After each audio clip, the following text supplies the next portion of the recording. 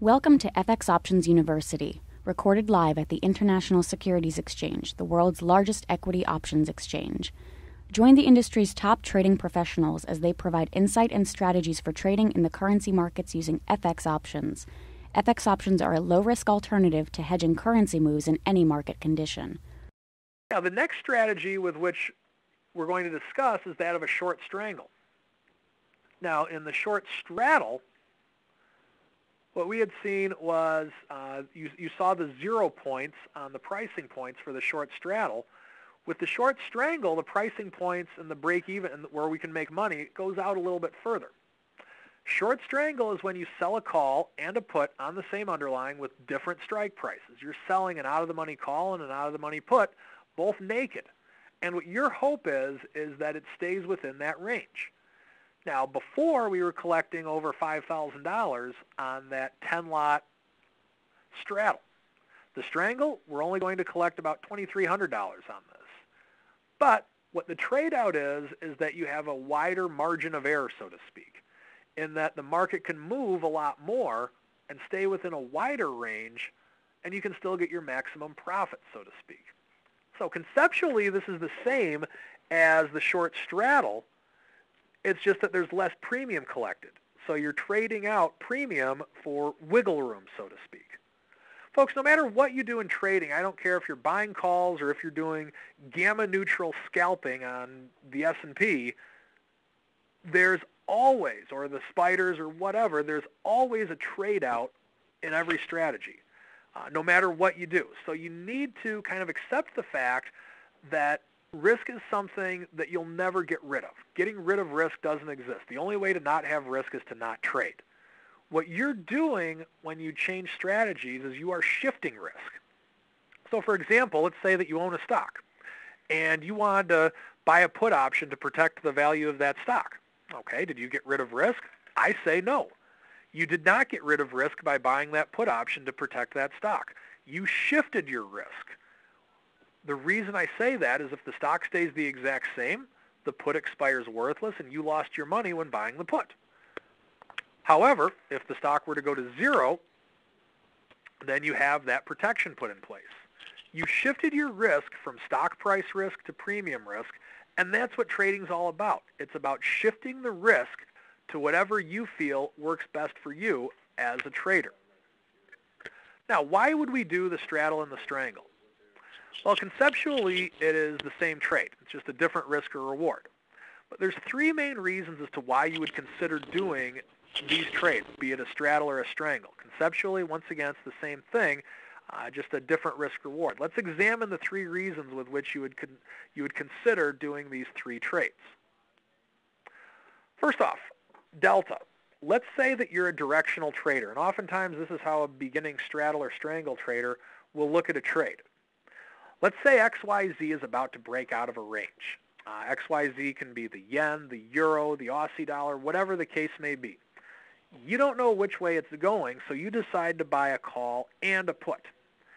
So with that being said, you're taking on a lot of premium risk. Instead of just buying a call option, you're buying a call and a put, so it's going to be twice as much in a lot of cases. Now, with that being said, if it moves enough, you can benefit from one while the other has a limited risk. So let's say that you have a lot of movement on one side, that the, the yen, the euro, the Aussie dollar, or whatever you're using moves a lot. Well, you'll make a lot of money on the one option, but the other one just simply expires worthless, perhaps. So with that, this is a way with which you can use the straddle as well as the strangle based upon direction. Now, with that, the flip side of that coin is let's say, and let's go through the disadvantages. Like I said, the premium is twice as much, and this does double the time decay risk. Let's say that you're anti-delta, meaning that you think that there's not going to be a lot of movement in this specific underlying. Well, if you're anti-delta, you can sell this naked short straddle or naked short strangle. You believe that the market's going to stay around the same area. Now, never fear the market, but always respect it. In this example, you will be naked. Make sure that you fully understand and respect the risk that's being involved in that. Now, with that being said, you need to have a trading clearance to trade naked options in your brokerage account as well. The other thing about this is that when you sell a naked strangle or straddle, you only have a margin requirement on one side of it, depending on your broker. And most brokers allow this. So normally, let's say you had X for the margin requirement for selling the naked put. If you also sell a naked call at the same time, there won't be any additional margin requirement. Reason being is that it's mathematically impossible to lose on both sides of it. You're only going to lose on one side of it. So exchanges, as well as margin departments, brokerages, they recognize that and they allow margin uh, to be leveraged like that when doing uh, the short straddle or the short strangle.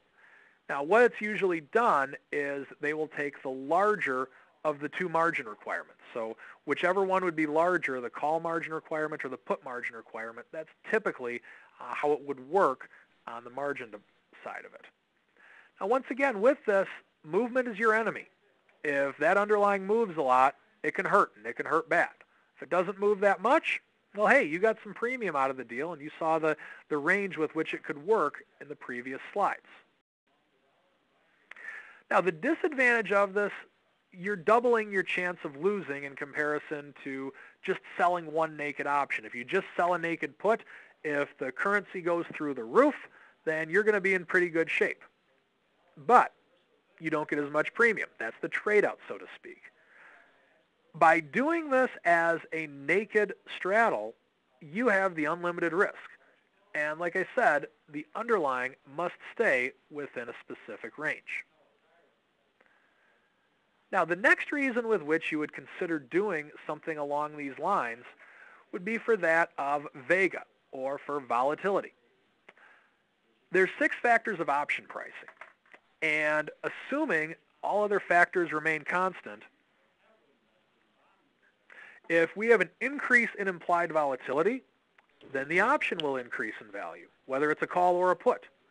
If we have a decrease in implied volatility, then the option will decrease in, in value, whether it's a call or a put. Once again, that's assuming all other factors remain constant.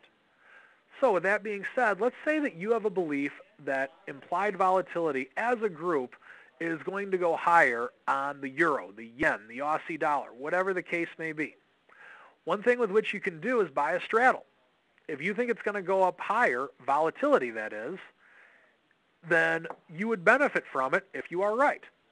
If all other factors remain constant and you have an increase in implied volatility, then the values of those options would increase. That's another reason with which you would consider buying a straddle. Now, a question would come up, why not just buy a call or just buy a put? Well, you don't have an opinion as to where the market's going to go. You're not, you want to be delta neutral. You want this to be a vega play, a volatility play, so to speak. And if that's the case, then by having a call and a put in place, it won't matter so much which way the market goes because the trade would be neutralized. Now keep in mind you'll have to adjust it and keep it neutral, so to speak. But the point is, is that you're long Vega. Volatility goes up, you're in a good position a lot of times, not every time, but a lot of times if you buy this straddle. Thank you for participating in this week's session. Please join us again next week. Get trading ideas, exchange rates, webinars, news, and commentary. Visit www.fxoptions.com. ISE FX options can be easily traded through all options enabled brokerage accounts. These exchange listed securities are cash settled in US dollars and have a European style exercise.